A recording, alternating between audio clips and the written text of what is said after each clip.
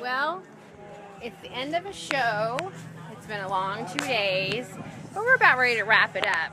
And rather than go through all the trouble of packing it up, I decided to hire a crew to pack it all up for me.